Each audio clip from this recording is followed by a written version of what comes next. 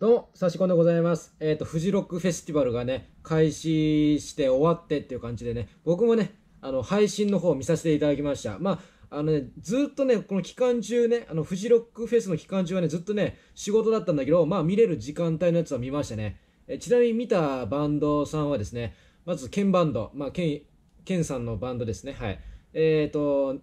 ナンバーガールで、今の清志郎ロックンドルフォーエバー、あの、清志郎さんの、あの関わりのある人たちが、まあ、清志郎さんの歌をカバーするとね、まあ、一部はザ・フーのマイ・ジェネレーションをやってたんだけどまあそれはいいか。はい。で電気グループも見ました。えー、まあそんな感じでねもう配信を見ただけでもねすごく楽しいねフェスでしたね。でまああのーやっぱねこのご時世ねやっぱフジロックフェスをやることにあたって結構批判があってまああのここんな時にフジロックなんかするんじゃないわよとか言ってるやつもいてでまああのフジロックに参戦まああの援護派の人援護派の人たちはまああのいやオリンピックやってるんだからいいだろうみたいな感じで。でまああの反対側はいやオリンピックは国の大会なんだから娯楽はやめてしまえとかまああのフジロックに出演してるミュージシャンは全員死んでしまえとかそういうね過激なこと言ってるやつもいて。でまあ俺にそれそこに関してはまあ、言いたいことはわかるけど、あのーその出演してるミュージシャンに対して、そうやって、あのーね、あの、誹謗中傷するのはね、本当許せませんので、マジそういう人たちはね、本当やめてほしいですね。あの、そうやってミュージシャンに誹謗中傷するの。それは、ただ単にオリンピック、オリンピックに出場する選手に対して、あの、オリンピックに出るなって言って言ってるのと、それは同じことでもあるんで、あの、たとえね、あの、国の大会で、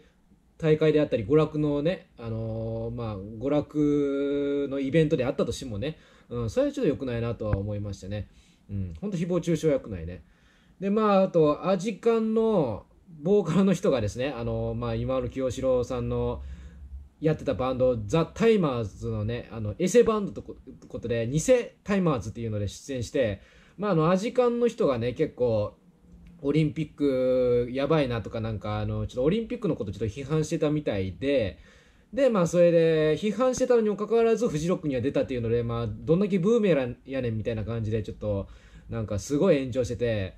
でまああのデイドリームビリーバーを歌った後になんかあの MC みたいな感じであのちょっとまあちょっと悪い言っちゃいけないことを言ってしまったなみたいな感じでなんかちょっと反省の弁みたいなこと言ってたんだけどその後のタイマーズのテーマのあの替え歌であのなんか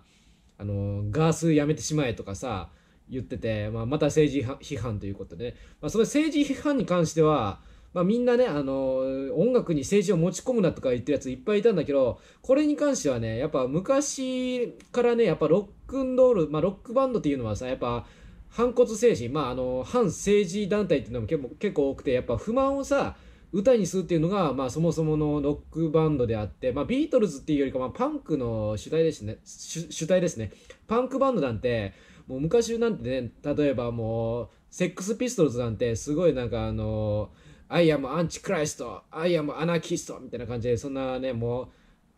あのなんですかあの女王様をさちょっと批判してるような歌も結構歌ってたわけだからまあ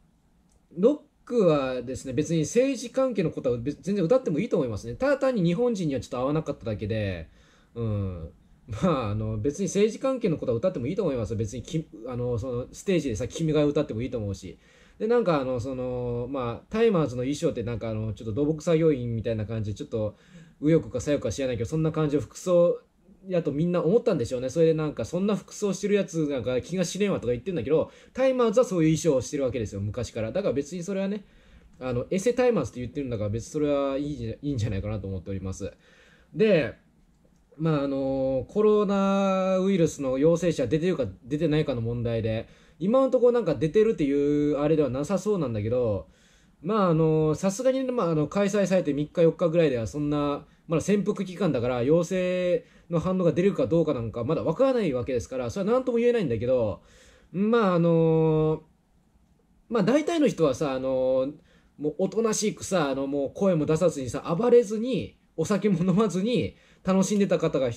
いると思うんですよ。てか、あの、大半の人はそうなんですよ。純粋に音楽を楽しみたい人が、まあ、フジロックに行ってるんだけど、まあ、中にはね、ちょっとマナーの悪い人たちがね、あのコンビニで、コンビコンビニはないんかなまあ、あらかじめお酒を買って、で、あの、ノーマスクでお酒飲んで、で、騒いでるやつもいると。まあ、そういうやつが一部、まあ、一部っていうか、まあ、何人かいるか、いるから、まあ、あの、そうやって周りからちょっと批判されると。うん、だからそういったね、ちょっとマナーの悪い人間のせいで、ちょっとフジロック、まあフジロックというよりかはも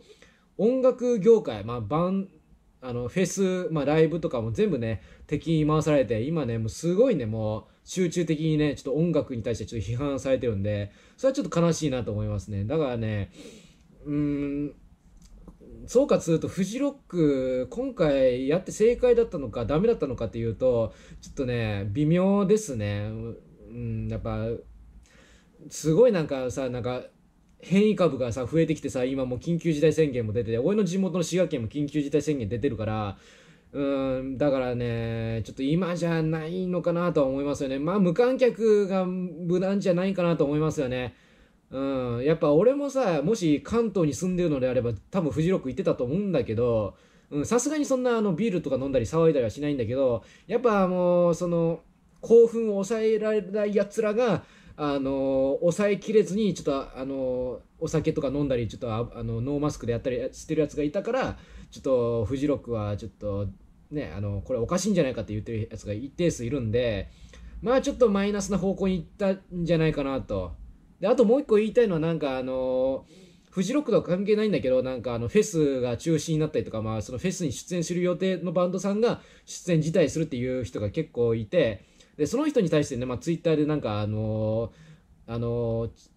中止してくれてありがとうございますとかさなんかあの、ご決断ありがとうございますとか言ってるやつがいっぱいいたんだけどいやもうそいつらに対して言いたいのはいや決断ありがとうございますとか中止ありがとうございますじゃねえだろと思いましたね。いや苦渋の決断ですからねそれは。もうあれだけ準備してもねあの中止しますとか延期しますあのばあのフェスには出ませんとかねほんと結構な